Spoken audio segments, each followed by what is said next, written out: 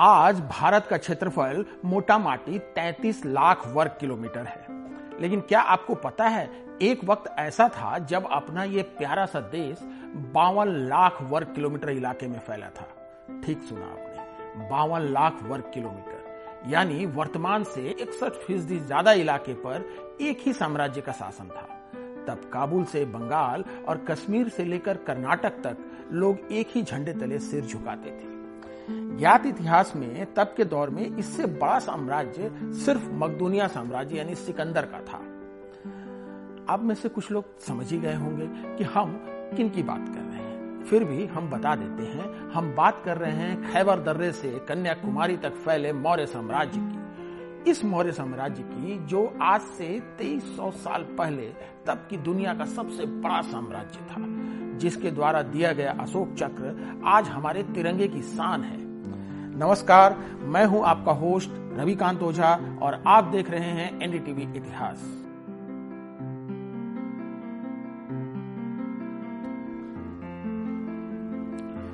आज दुनिया की कुल जीडीपी में सबसे बड़ा योगदान अमेरिका का है।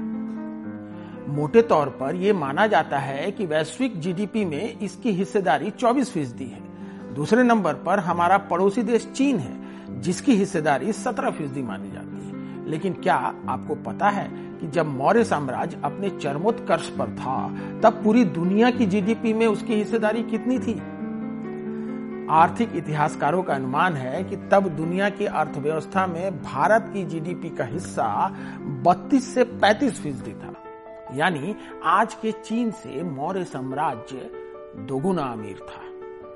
मौर्य साम्राज्य की को थोड़ा और करीब से समझने के लिए चलिए, आपको समय में 2300 साल पीछे लेके चलते हैं। ये जगह है बिहार की राजधानी पटना। ये तब पाटलिपुत्र था। आप पाएँगे तब इसकी लंबाई 16 किलोमीटर और चौड़ाई 3 किलोमीटर है। नगर के चारों तरफ़ एक दीवार है जिसमें चौसठ द्वार और 570 दुर्ग बने हैं। नगर के अधिकांश मकान लकड़ी के बने हैं। नगर में चारों ओर लकड़ी की प्राचीर है, जिसके भीतर तीर छोड़ने के स्थान बने हैं। शहर के बीच में राजा का महल है, जिसके वैभव के सामने ईरानी बादशाह का महल सुस्का और एक बताना फीके लगते हैं। सम्राट के दरबार में अच्छी सजावट मिलती है और वहाँ मौजूद सोने चांदी के बर्तनों से आँखों में चकाचौंध पैदा हो जाती है। राजा राजप्रसाद से सोने की पालकी या हाथी पर बाहर निकलता था। नगर में अधिकांश घरों में ताले नहीं लगते थे। दरअसल, प्राचीन पटना का ये विवरण हम आपको मशहूर यूनानी राजदूत और सम्राट चंद्रगुप्त मौर्य के दरबार में बतौर सलाहकार मौजूद रहे मेगास्थनीज की किताब इंडिका के हवाले से बता पा रहे हैं। ऐसा माना जाता है कि मेगास्थनीज की इंडिका में कुछ बातें थोड़ी भ्रामक भी हैं। लेकिन हम आपको वही बातें बता रहे हैं जिसकी पुष्टि दूसरे स्रोत भी करते हैं। मसलन, अशोक के शिलालेख, बौद्ध ग्रंथ और दूसरे विदेशी यात्री फाहियान आदि आदि आदि। बहरहाल, बात को आगे बढ़ाते हैं। किसी भी देश की अर्थव्यवस्था की रीढ़ की हड्डी सड़कों को माना जाता है। मौर्य साम्राज्य के इतिहासकारों पर भरोसा करें तो सम्राट चंद्रगुप्त के शासनकाल में उत्तरा पथ का निर्माण किया गया। जो आज के बांग्लादेश के शहर चटगांव से शुरू होकर के अफ़गानिस्तान के काबुल तक जाता था। बाद में इसी को आधार बनाकर शेर शाह सूरी ने सराक ए आज़म का निर्माण कराया, जिसमें सुधार कर अंग्रेज़ों ने ग्रैंड ट्रैक रोड बना दिया। मौर्य साम्राज्य में भारत का कारोबार रोम, फारस, सीरिया और मिस्र के साथ भी होता था। मौर्य शासकों ने गुजरात और महाराष्ट्र में बंदरगाह बना रखे थे, जिनसे समुद्री कारोबार होता था। मौर्य शासनकाल में सोने और चांदी और तांबे के सिक्के प्रचलन में थे। मुख्य मुद्रा जो थी वो चांदी थी, जिसका नाम पण था।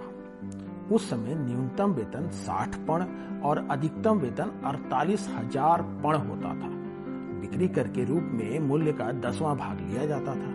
इसके अलावा कर चोरी करने वालों के लिए मौत की सजा का प्रावधान था। पूरे मौर्य साम्राज्य में पाँच राजधानियाँ थी। मुख्य राजधानी तो पाटलिपुत्र थी।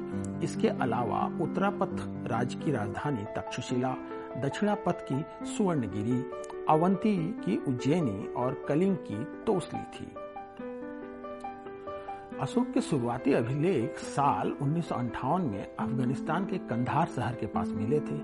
हुआ यूँ कि यहाँ के एक चहेल पहाड़ी के पास चरवाहों को एक चट्टान मिली, जिसके आसपास खुदाई कराई गई तो शिलालेख मिले, जिसे फ्रांसीसी और इतालवी पुरातत्वविदों को दिखाया गया। रिसर्च के बाद उन्होंने जो बताया, उसके मुताबिक ज़्यादातर अभिलेख प्राकृत भाषा और ब्राह्मी लिपि में लिखे गए थे। अभिलेख के कुछ हिस्सों में यूनानी और सीरियाई भाषा और सीरिया की भाषा इब्रानी भी थी। ऐसा माना जाता है कि अशोक ने ये शिलालेख अपनी यूनानी प्रजा के लिए लिखवाए थे। ये शिलालेख काबुल के संग्रहालय में उन्नीस सौ चौरानवे तक मौजूद था। लेकिन उसके बाद हुई लूटपाट में ये गायब हो गया और अब अज्ञात है। हालाँकि अशोक के शिलालेख कंधार के अलावा खैबर पख्तूनख्वा, दिल्ली, वैशाली, चंपारण, सारनाथ, मध्य प्रदेश के सांची, कर्नाटक और अमरावती में भी पाए गए हैं। इस दौर में तक्षशिला नालंदा, विक्रमशिला और कंधार शिक्षा के प्रमुख केंद्र थे। इसके आधार पर ऐसा माना जाता है कि अशोक का राज्य आधुनिक असम से ईरान तक और दक्षिण में गोदावरी नदी के आसपास तक फैला था। अब आप बताएँ, ऐसे विशाल और सुसंगठित साम्राज्य का पतन कैसे हो गया? क्या इसके पीछे की वजह अहिंसा के मार्ग पर चलना था या फिर अशोक के उत्तराधिकारियों का कमज़ोर होना? क्योंकि अशोक ने तो करीब 30 सालों तक शासन किया और अपने शासन के पहले ही दशक में उन्होंने बौद्ध धर्म की दीक्षा भी ले ली थी। खैर, अगली कड़ियों में हम इस पर भी बात करेंगे। तब तक आप हमें इस मसले पर अपने कमेंट्स भेजें और अपने विचार हमारे सामने रखें। धन्यवाद।